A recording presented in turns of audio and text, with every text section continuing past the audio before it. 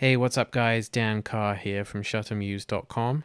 In today's tutorial, I'm going to show you how to watermark your images using Luminar from Skylum Software. Now the logo that I'm going to use to watermark my images was created by the Photologo service.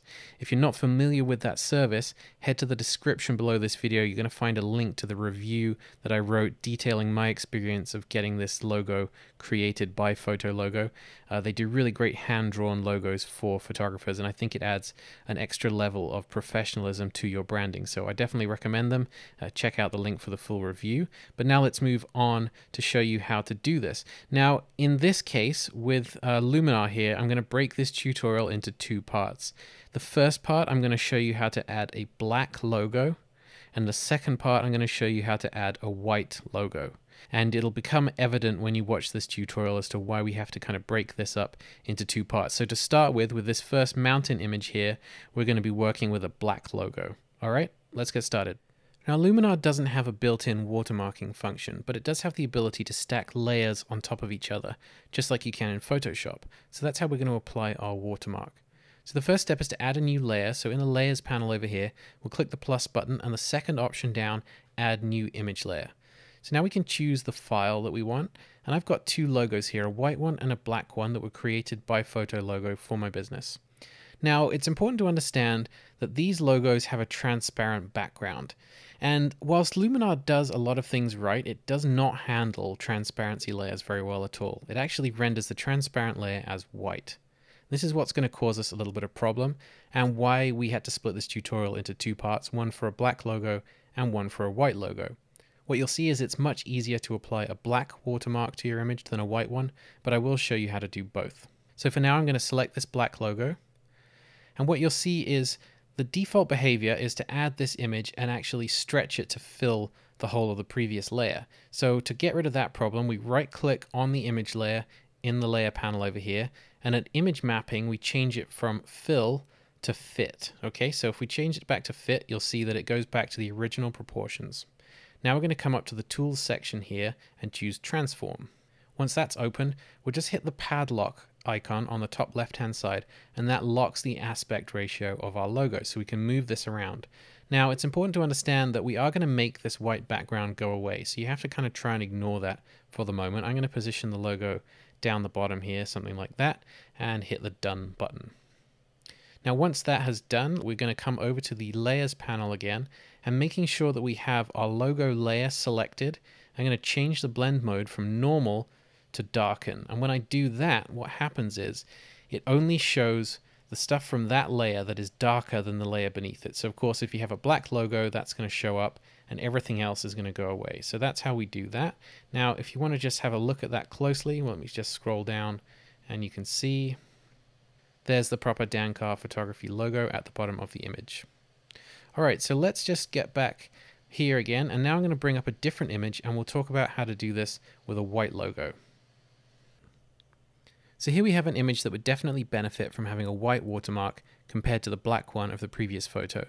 Things do get a little bit more complicated here, and we actually need to download a preset, which I'm making available on the Shutter Muse website. So the first thing you need to do is to go to the website, go to the article about adding a watermark using Luminar, and this is linked in the description below this video. So follow the link to the website, you'll find a download button there to get a preset called invert. And we're going to need this to make sure that we can use a white watermark. Okay, so let's just say you've downloaded that zip file already. So here I have it in Finder here. It's called invert.lmp.zip.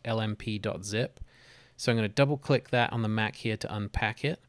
Now we've got the invert.lmp file. Now we need to put this in the custom preset folder in Luminar, and I'll show you how to find that folder. So I'm just going to switch back to Luminar for a second. Now, if we've got our preset panel open, so this button up the top here is what pulls up the preset panel, you can choose any of your preset categories and just right click on any of these presets and show in Finder. So I'm in the user presets section. That's going to be the best place for you. So user presets show in Finder. Now this brings up the folder where you can store your user presets. And all we need to do is drag that invert.lmp file into the custom preset folder. Okay, so let's do that right now. Now we can see invert.lmp is in there. And if I switch back to Luminar, we'll see it jump up here. So now we have this invert preset. Now I'll show you how to use that and why we need that in a second, but that's the first thing to understand is to make this happen, we need to put that invert preset in there. Okay? So now we're going to add our new image layer, just like we did in the previous section of the video. So we'll hit the plus button and add new image layer. And here we have our two options, a white logo and a black logo. Now, whilst we are creating a white logo this time, we're actually still going to select the black logo.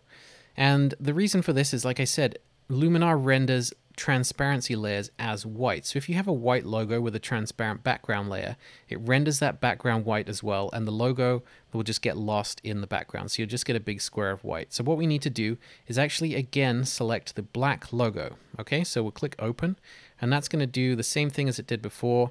Uh, in this case, it'll probably fill it to the same aspect ratio, but just to make sure, right click on this, image mapping, go to fit just to make sure that that isn't being stretched.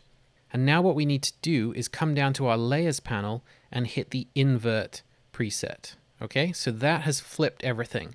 So white is black and black is now white. So now we have a white logo on a black background. And then we come up to the layers panel again and we change the blend mode this time to screen.